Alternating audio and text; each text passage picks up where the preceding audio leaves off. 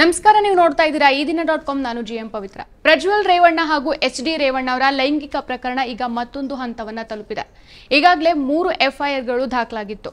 ಮನೆ ಕೆಲಸದ ಮಹಿಳೆ ಹಾಗೂ ಅವರ ಮಗಳ ಮೇಲೆ ಲೈಂಗಿಕ ದೌರ್ಜನ್ಯ ಎಸಗಿದ ಆರೋಪದ ಅಡಿ ಮೊದಲನೇ ಕೇಸ್ ಫೈಲ್ ಆಗಿತ್ತು.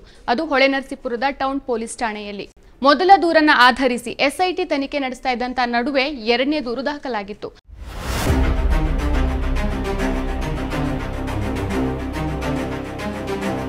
ನಂತರ ಮೂರನೇ ಎಫ್ಐಆರ್ ಕೆಆರ್ ನಗರದಲ್ಲಿ ಸಂತ್ರಸ್ತೆಯನ್ನ ಅಪಹರಣ ಮಾಡಿದ್ದಾರೆ ಅಂತ ಅವರ ಮಗ ದೂರನ್ನ ದಾಖಲಿಸಿದ್ರು. ಇದೀಗ ಪ್ರಜ್ವಲ್ ರೇವಣ್ಣ ಅವರ ಲೈಂಗಿಕ ಪ್ರಕರಣದ ಎ ಆರೋಪಿ ಶಾಸಕ ಎಚ್ ಡಿ ರೇವಣ್ಣ ಅವರನ್ನ ಈಗ ಎಸ್ಐಟಿ ತನ್ನ ವಶಕ್ಕೆ ಪಡ್ಕೊಂಡಿದೆ.